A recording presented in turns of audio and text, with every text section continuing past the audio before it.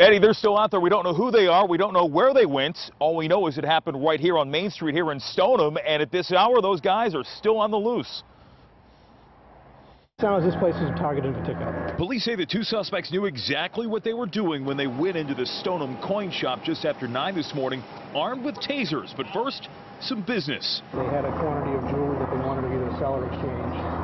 And while that transaction was taking place, one of the suspects pulled out a taser and apparently tased one of the employees.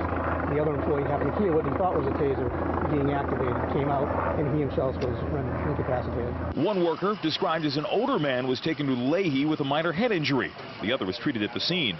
As for the two suspects, described as two Hispanic men, one with a medium build, they made off with an undisclosed amount in coins from the store. In this particular case, it would be an armed robbery where they used a weapon. And the store is closed today, but it is still a mess inside, and you might be able to still make out some of the valuables left on the floor.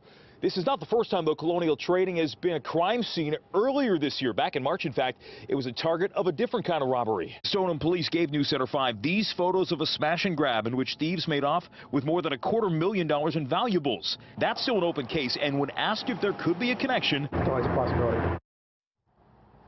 And we did talk to one coin dealer who stopped by the store, didn't know what happened earlier in the day, and he told us he was concerned for the owner's safety because this is tucked off the side of the road. There's no direct sight of Main Street, so a little bit worried about police presence. Nonetheless, we will have more on this coming up.